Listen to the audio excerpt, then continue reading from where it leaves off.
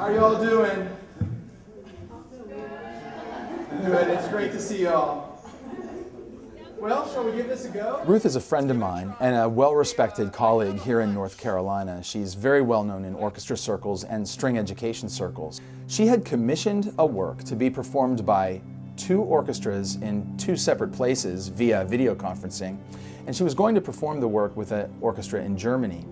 Unfortunately, the German orchestra pulled out, and she was in need of another orchestra that, number one, uh, was capable of playing the music, number two, that had a director that was interested in doing something innovative and technologically challenging, and third, someone that had the capabilities to do the video conferencing.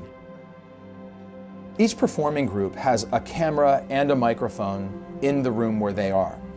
Our building is wired so that video and audio can be sent up to a control room where a studio manager then sends the video feed out to Ligon Middle School in Raleigh, where they, in their auditorium, had television screens that were projecting our image as an orchestra. We're set also to receive their video and audio feed on our end. They can see and hear us, and we can see and hear them all in real time. Well, the piece is essentially an aleatoric piece, and by that I mean much of the piece happens by chance. Everything that both orchestras played was in fact written out. There was nothing improvised or off the top of the head of the musicians. However, with aleatoric or chance music, it will probably sound different every time you play it based on decisions that the musicians are allowed to make. The beauty of this piece is it was written to be played via video conferencing, which in and of itself creates about a one second delay.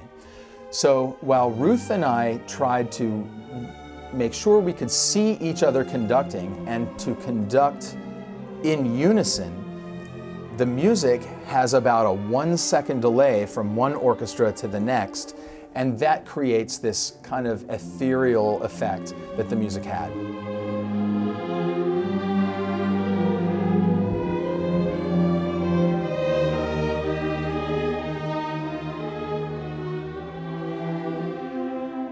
I, I, had no doubt that, that this would be uh, an extraordinarily interesting project. I said to our students that really they and the Ligon Orchestra were pioneers. They were doing something that really, to my knowledge, has never been done before.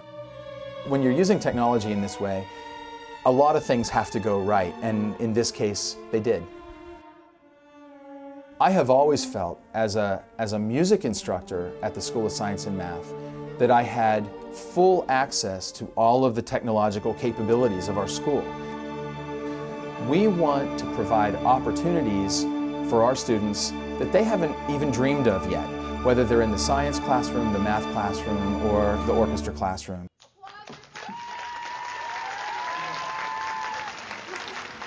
Yeah.